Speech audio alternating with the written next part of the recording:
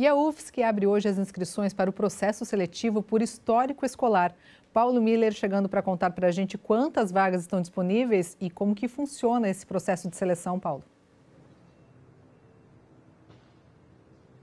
Karina, 343 vagas no total, em 17 cidades aqui de Santa Catarina, onde a UFSC tem algum polo ou de educação à distância ou tem algum campus instalado e são vagas remanescentes do processo do, do, perdão do vestibular unificado do último vestibular unificado e também do processo seletivo daquelas uh, daquelas daqueles cursos de educação à distância. Então, o candidato que cursou o ensino médio é, pode então é, se inscrever ter o currículo avaliado, a nota do ensino médio avaliada, para poder concorrer uma dessas 343 vagas. Então, a primeira condição para esse candidato é que ele tenha concluído já o ensino médio, tá, gente? Não pode estar tá lá na, no terceirão, na última fase, não. Já tem que estar tá com o ensino médio concluído.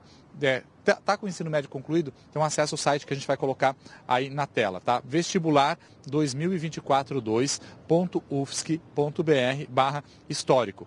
Vestibular 2024-2.ufsc.br barra histórico. Daqui a pouquinho, a partir das 10 horas da manhã, essas inscrições elas começam a ser feitas nesse portal ali, onde tem tudo discriminado, inclusive o edital, com todas as vagas, quais são as cidades, quais são os cursos que estão disponíveis. Então dá para fazer inscrição até o dia 17 de julho.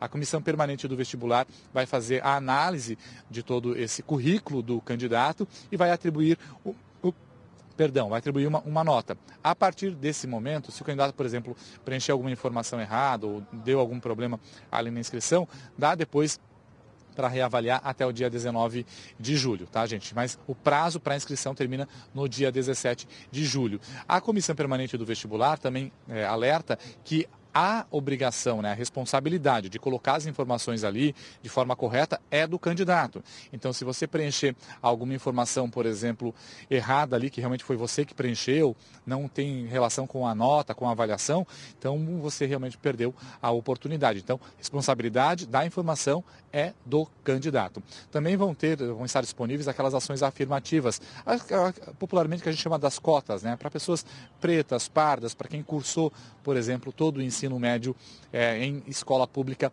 brasileira. Então tem essas, essas cotas que vão ser reservadas também para essas pessoas. No mais, é uma boa oportunidade para ter uma, uma graduação né, em uma das melhores universidades da América Latina, que é a nossa Universidade Federal de Santa Catarina. Volto com vocês no estúdio.